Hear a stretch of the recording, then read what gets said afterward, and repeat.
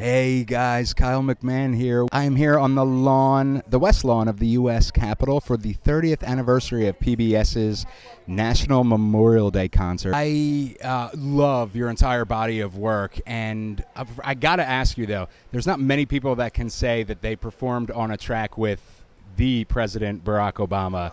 Yeah, how, what was that like for you? it was crazy. It, it was uh, obviously a song that I'd sung, you know, quite a few times. Right. Uh, so it was refreshing to, you know, see it in a different way, a different light. And then uh, when you, you add 44 into the mix, it, it guarantees to be a, a, a neat experience. Yeah. And it was that. and it was I, I think i read it was the only uh, chart hit featuring a president ever in history How about that? It's- it's I like insane. being I like being the, the, the, the backup singer to that one.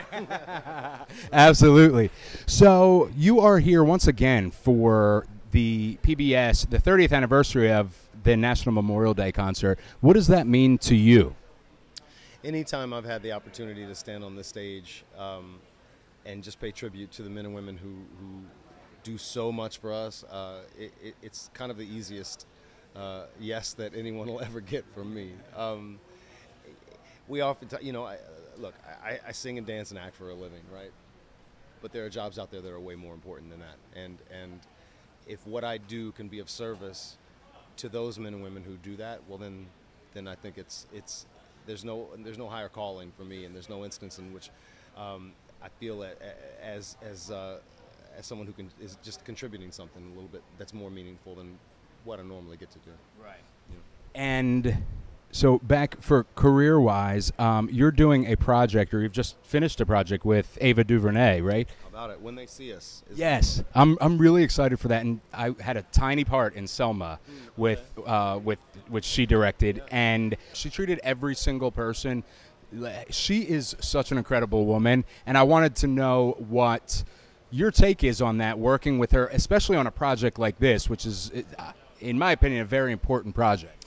Uh, Josh Jackson, who is also starring in the movie, um, he said it best uh, recently. He said, you know, she creates an environment of love and and and requires has a very high expectation. Um, she she sets the table for you to uh, enjoy where you are, and and when everyone feels valued, they feel invested in a very personal and different kind of way.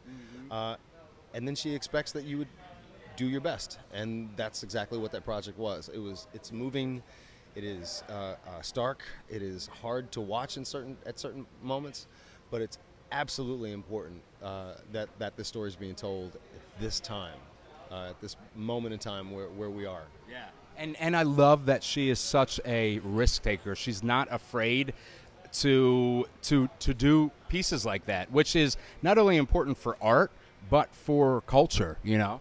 I think if you look look at things through a cultural lens, you can sometimes miss the significance of it. Quite literally, I, th- I think that it can be reductive sometimes to to see it just as, oh, this is a hot new thing that's happening. This story is 30 years old.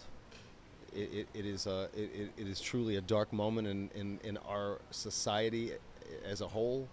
Um, we saw six victims, you know, uh, at an inflection point in their lives. They will none of them will ever be the same.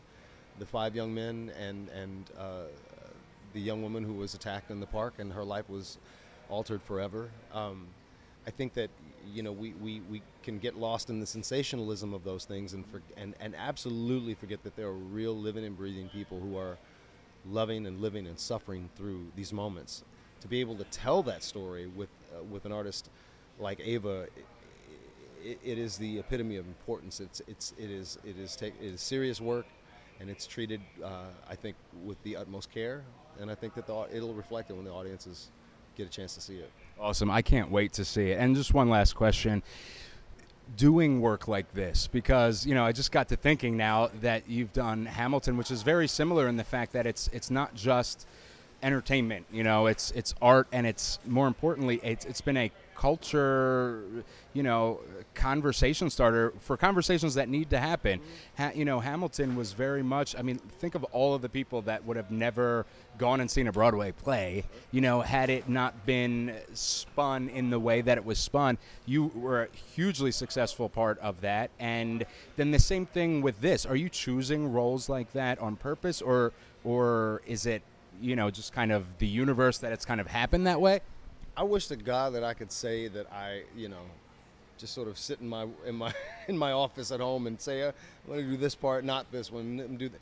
It doesn't work out that way. I, I think I'm a living uh, witness to the fact that you put good out in the world, good comes back to you. Um, I believe that my path has been divinely ordered, and I have had the benefit of working with some of the most tremendous artists of, of our generation. And um, I don't say no when they come a calling. You know, I'm, I'm, I'm willing.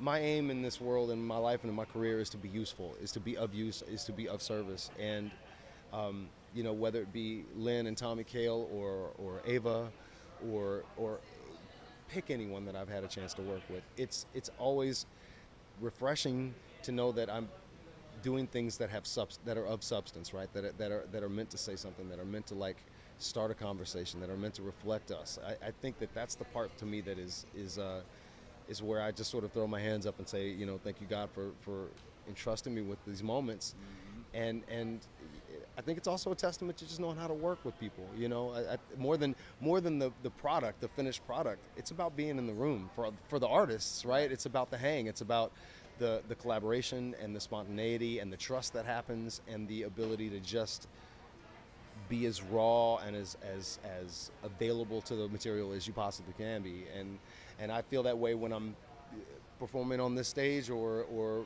you know, in front of the camera, hopefully behind the camera soon. Like my, my aim is to just continue to tell stories, continue to like celebrate the humanity in, in, in, in all of us and, and, and what we go through. I love that, man. That is so inspirational. Thank you so much for talking to me, man. Thank you guys so much for tuning in today. As always, please give me love if you liked it, like literally liked the video, uh, and share with a friend. Subscribe if you want more content just like this. I love doing this for you guys. And that's all. Thank you for, you know, thanks.